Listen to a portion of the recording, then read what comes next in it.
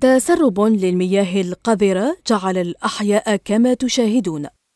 تعطل مضخة الدفع نحو محطة التصفية. تسببت في تشكل برك كبيرة تنبعث منها روائح كريهة يتخوف السكان في تسببها في أوبئة.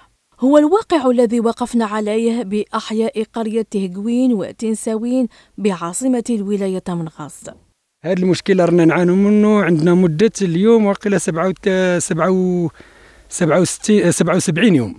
قريب عندنا شهرين قريب رانا في ثلاث شهور. الماء هذا راه يمشي كيما هاك. فيه رائحة كريهة فيه البعوض انتشار البعوض والكلاب الضالة ولادنا كاع مرضوا ما نرقدوا في الليل لا نهار لا الليل. شوفوا واش نغانوا خدا الواد. الناموس دار فينا خالة هنايا. ولادنا مرضوا. نهار كامل نغانوا في السبيطار. تدفق مياه الصرف الصحي أثر سلبا على المردود الفلاحي للمنطقة وعلى مخزون مياه الساقي التي اختلطت بالمياه القذرة. وضع جعل الفلاحين يتخلون عن بساتينهم جراء الأضرار التي لحقت الأشجار المثمرة وإتلاف مختلف محاصيلهم الزراعية.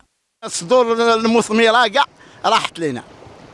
المثمره كاع راحت لنا. كان فاتحين وليا في جنان عندهم واحد الأخر هذه واش يسموه؟ مفتوحة في جنان أنا كانت هذه البلاد هذه تبارك الله التشين المشماش الخيار الخيرات. اليوم هاي تهجرت. صحراء ولات. فايت ل 40 فلاح هربت من هذه البلاد هذه الحل يكمن في اقتناء مضخه جديدة. وهذا الحل هو في الحقيقة يتطلب يتطلب أن في الحقيقة ماهوش إحنا نقولوا أمر قد يكون يطول شوية. التجأنا إلى إصلاح المضخه اللي, متواجده عندنا والحمد لله في غضون هذه الأيام هذه إن شاء الله سوف نقوم باستلام المضخه وتركيبها.